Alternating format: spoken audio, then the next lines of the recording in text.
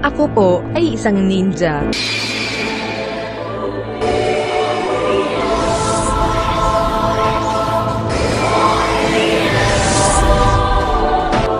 So, ayan. Kagipot siya technique times 2 times 2 times 2. So ayan, so ayan, so ayan, so ayan, so ayan, so ayan, so ayan, so ayan. Stop it. At ayan, laruin na agad natin itong Naruto Slugfest, isang 3D open world MMORPG, adaptation of Naruto Shippuden, tapos ang game size po neto ay 2.30 gig lang, napakagaan. And available na po ito sa Play Store, so ayan login ka lang using Google or Facebook account, tapos mag-login na tayo. Nani? Hey, what happened? Ay pota, buwaka ng inay. Ano ba yan, maski ang Konoha ay naka-lockdown na din. The next day. Putang ina. The Another one. Yes, yes, yes, yes. Yes, finally mga Lodi, March 22, ay nakapasok na din po tayo. At ayan ang mga servers po nila, medyo madami. So ano pa hinihintay natin Terra na at tirahin na po natin. At ayan, skip na natin yan.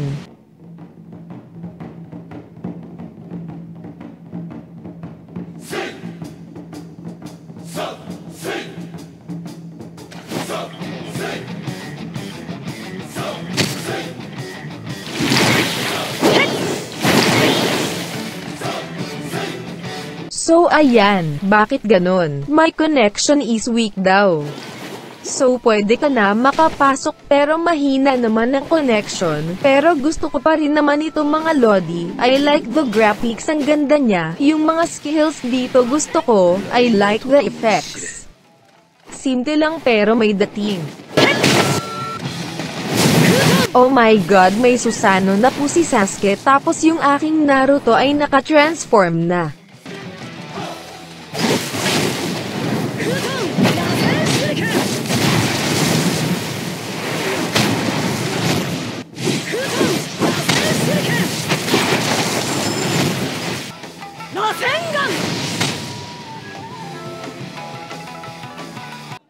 So ayan guys mga camera settings natin, at nasa Konoha na po tayo mga Lodi, and ito gamit natin si Naruto. At ito po ang ating settings, bunting tingin natin, tapos atin pong ilagay sa max settings ang ating graphics. At ayun na nga. At ayan takbo-takbo na tayo, tapos may duyan, try natin magduyan dito. Ay, bakit ayaw magduyan? Aba, putya. At ayan, takbo-takbo kami ni Master Libog. Ermitanyang mahilig.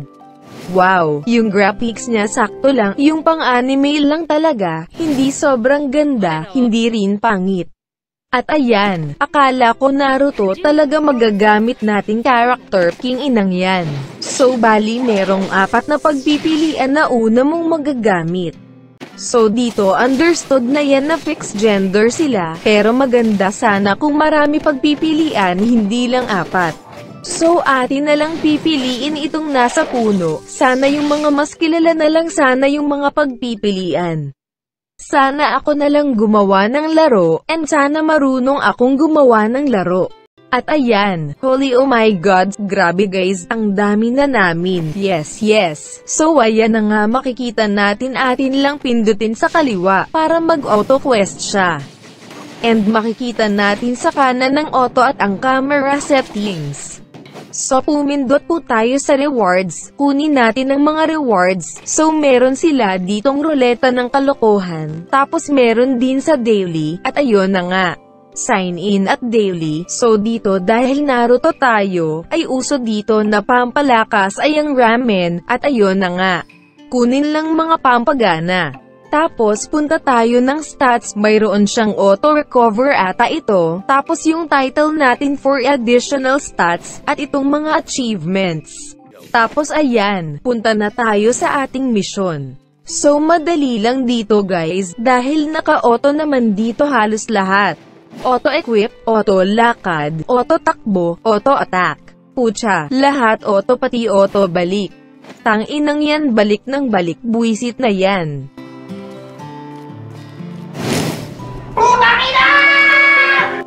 Ay putya talaga. Okay naman internet connection ko, hay nako. So pumindot po tayo sa kanan yung nanjutsu po, para po sa mga skills, at ayan madali lang ang mag-upgrade, tamang level up lang sa paborito ninyong Emax.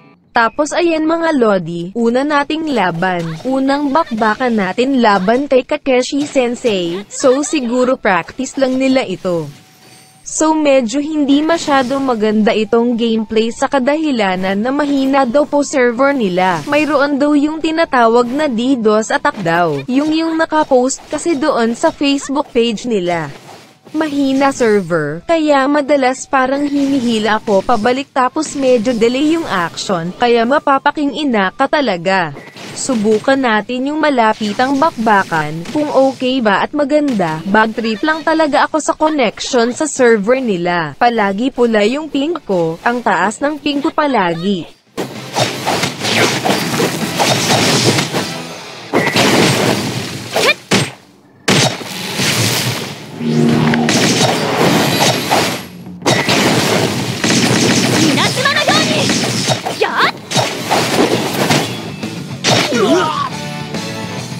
Ang maganda dito is you can enter inside buildings, so okay yan, kung gusto mo gumawa ng himala, mayroon kang pipwestuhan.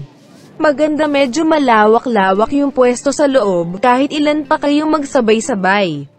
Ayan tapos pindut ka sa recruit, may makukuha kang mga kapartner mo kung baga makakasama mo sa laban pero parang maximum lang ata sa dalawa ito. So balik tayo ulit sa recruit, pindutin mo lang sila para maging kasama mo sa laban. Bali dalawa lang ata yung maximum na pwede mo magamit ng sabay pero pwede naman po magpapalit-palit.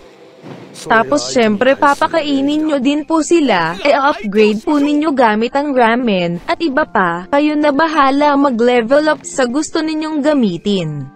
Tapos may mga stats din po mga iyan. Tapos yung mga technique din po nila ay i-upgrade nyo lang po ng maayos at hinay-hinay lang po sa pag-upgrade. At ito po sasampulan ko po kayo, nung mga bagong kasama po natin, si Kapalkilay at saka si Jugo. So ayan at ayun na nga. Tapos may training din tayo dito paano umakyat ng puno, gamit ang pagbalance natin sa ating phone. Ay gogi, nagkamali, at ayan nahulog tuloy, sorry na bay. Tapos pindot sa kanan sa forge, madali lang guys mag-upgrade, mag-enhance all ka lang para isang upgrade lang ng items. Tapos ayan kalaban natin si Teacher Iruka.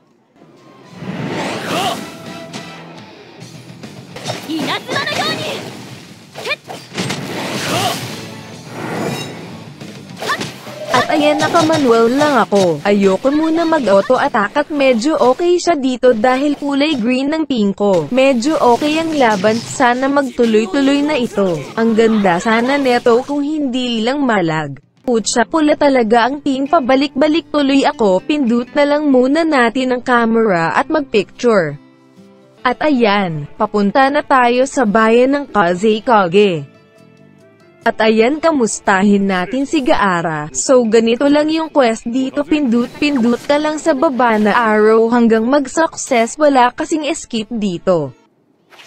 So balik po tayo sa skills, bali may ultimate na po tayo dito, or yung parang SS nila dito. Tignan natin itong map saglit at ayan. Tapos eto na may misyon po tayo sa gabi. Ang lag lang talaga pulang-pula ang ping. Kaya kasing pangit ko tuloy yung gameplay tang inang server kasi yan.